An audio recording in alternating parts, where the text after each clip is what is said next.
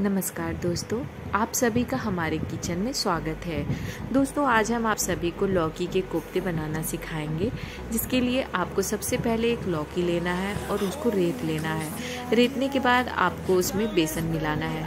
बेसन जब आपने उसमें फेंट लिया है तो आपको उसमें लहसुन, अदरक, मिर्ची का पेस्ट मिला के जीरा और नमक, हल्दी डाल के पकौड़े की तरह उसको तल लेना है।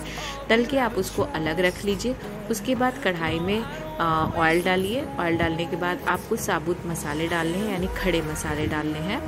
और उसमें लाल मिर्ची तेज पत्ता मिला के आपको एक कटा हुआ प्याज डाल के थोड़ा टाइम के लिए भूनना है। जब आपके ये प्याज जो है थोड़ा रेड हो जाए तो आपको जो, आपको एक पेस्ट बनाना है। जिस पेस्ट में आप यूज़ करेंगे अदरक, लहसुन अदरक, लहसुन, जीरा और प्याज का पेस्ट इसको आपको इन मसालों में मिक्स करना है और चलाते रहना है।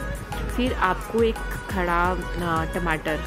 टमाटर को आप पीस भी सकते हैं। थोड़ी आपको ग्रेवी और मोटी चाहिए तो आप टमाटर पीस लीजिएगा, वरना आप खड़ा टमाटर डाल सकते हैं। एक टमाटर, दो टमाटर अपने हिसाब से आपको डाल लेना है। तो आप इसमें टमाटर मिक्स करिए उसके बाद हल्दी गरम मसाला जो, जो भी आपको गरम मसाला पसंद हो मैगी मसाला भी आप इसमें डाल सकते हैं। उसको मिला लीजिए और भूनने दीजिए। कुछ टाइम जब भी भून जाए तो फिर आपको इसमें पानी मिक्स करना है। पानी मिक्स करने के बाद जितना आपको ग्रेवी रखना है उतना आप इसको फ्राई कर उतना उबलने दीजिए। उसके बाद आपको जो पकौड़े आपने जो तले हैं उसको मिक्स कर लीजिए कढ़ाई में। मिक्स करने के बाद कुछ टाइम तक उसको बॉयल होने दीजिए, उसके बाद कढ़ाई को गैस बंद कर लें। धनिया मिला के, हरा धनिया मिला के आप इसको खा सकते हैं। इसकी सबसे खास बात ये है दोस्तों कि ये बच्चों को बहुत ज़्यादा पसंद आती है और ये हेल्दी बहुत होती है।